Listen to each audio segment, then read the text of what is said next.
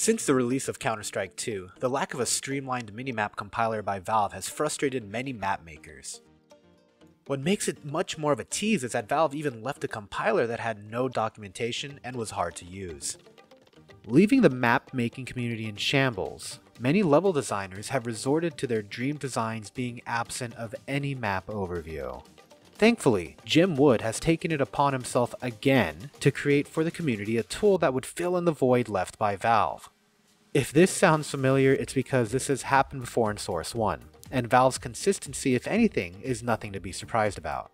Jimwood was gracious enough to sit down in a session and show me how to use his RadGen tool to create minimaps for Counter-Strike 2.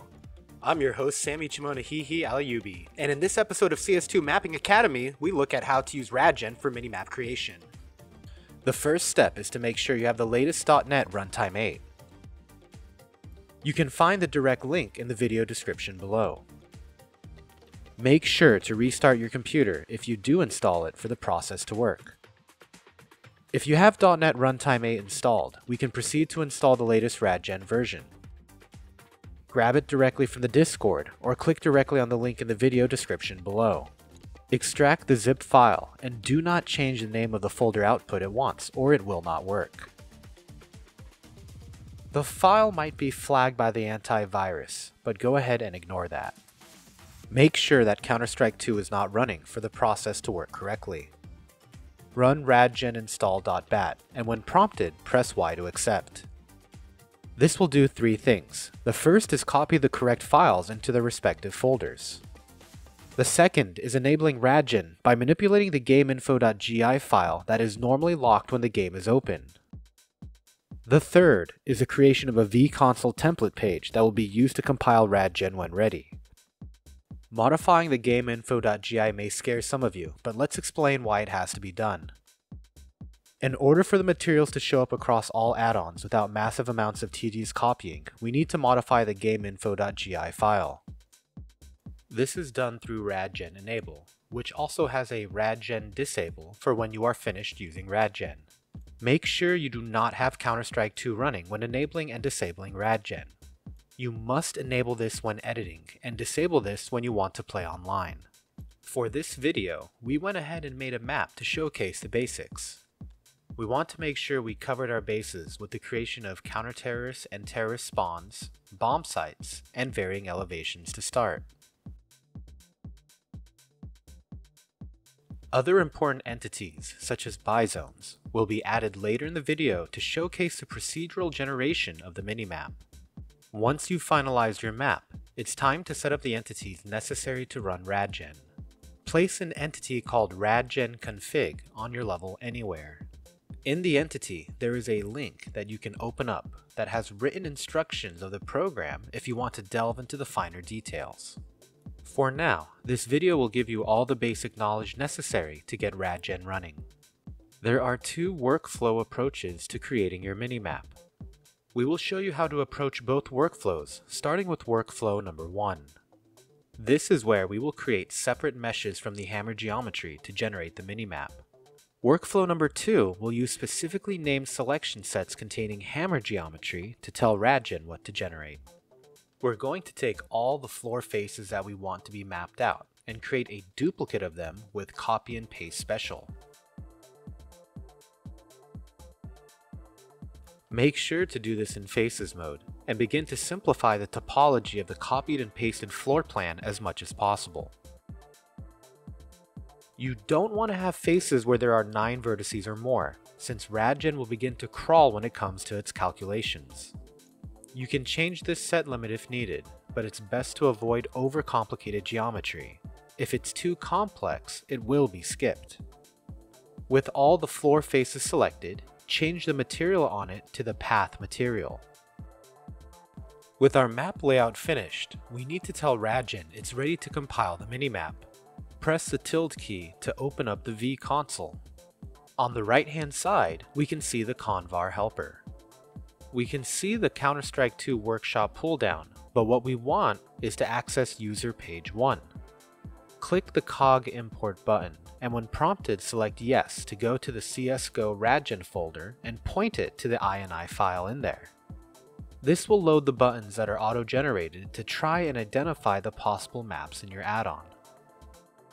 You can have it look through your add-on folder to update the maps you have in there by clicking the Update Page Template All Maps button. If you want, you can manually edit the buttons to point it to the correct map path file. Right-click and select Edit to access the button name, description, and the file name. With the buttons correctly set up, click on the Generate button that points to your map to run RadGen and generate the most up-to-date radar. You may have Windows Defender try and block it, so be ready to bypass a warning if needed. This creation process will create files that will be referenced. To see these files, in your add-ons folder, browse to Panorama, Images, and then Overhead Maps. For this example, we can see the TGA, PNG, and PSD files that have been generated.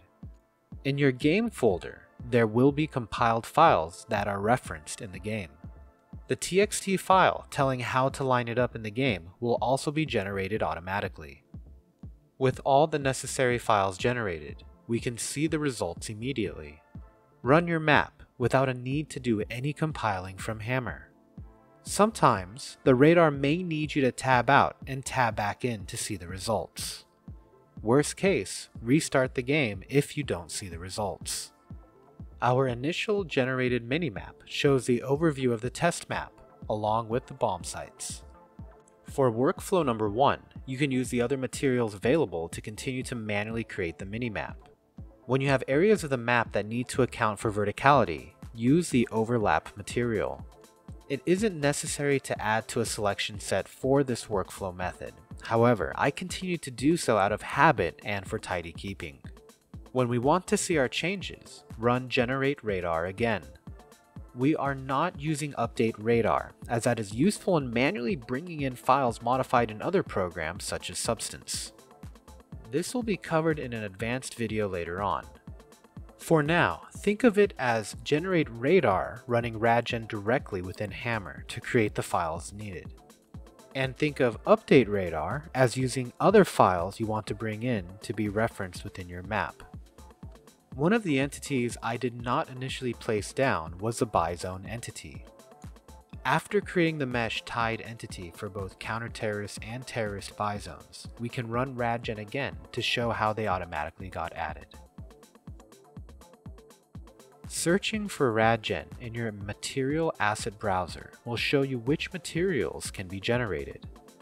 Some of these will be generated automatically, such as buy zones. A list of these materials and their case uses can be found on the website linked within the Radgen entity. There are several entities that we can use for minimap generation. One useful one is a divider entity. Place this entity at the height you want to distinguish each level split. You can have multiple dividers for multiple floors, just make sure none of them are the same height as any other. With this entity, you won't need to have the overlap material used and can keep path on your faces. You can define the min and max points for the ceiling and floor using the Radgen ceiling and Radgen floor entities. The color gradients for these can be found in the Radgen config entity.